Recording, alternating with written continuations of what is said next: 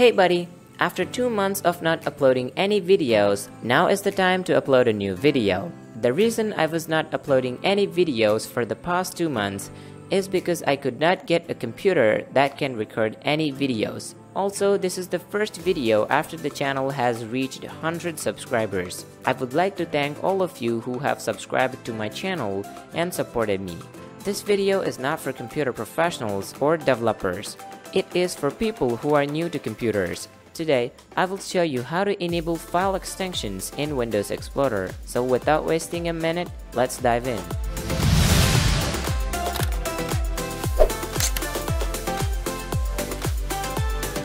First, I will tell you how to enable file extensions in two different methods, and then I will tell you why you should enable it. So, watch this video till the end. To get started, open Windows Explorer. You will launch Windows Explorer if you open any folder. For this video, I will open the folder named Examples on the desktop. If you already have Windows Explorer opened, then no need to open a new window. This setting can be enabled from anywhere in Windows Explorer. If you don't know if Windows Explorer is already opened or not, then you can check out your taskbar if the icon that looks like this is present or not. Once you figured that out, only in Windows 8 and above, open the View option here. Now you can see the File Name Extensions checkbox. It will be located on the right side of the View panel. Simply check on it and file extensions should be visible after that. Now let's check out the other method to do the same thing. This method is same in whatever version of Windows you're using. From Windows XP to Windows 10 Fall Creators Update, this method is universal.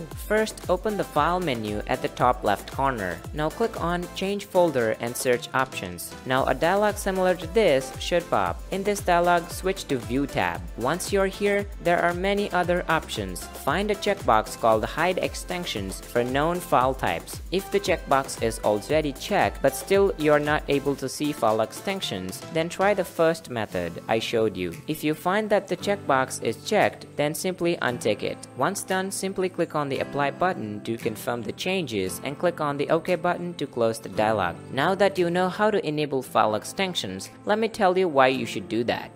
Here are two files that look exactly similar. One of the file is a virus while the other file is a normal text file. As you can see, this is a normal text file open in a notepad. But let me launch the second file that exactly looks the same. This is not a text file. This is an executable file that can do anything to your PC once launched and you launched it thinking that it is a text file which can do no harm to your PC. Other than this reason, there are several situations where you have to change the file extension of a file and for changing file extension you need to view it.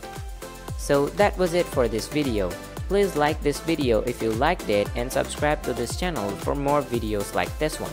This is Vasanth Developer signing off.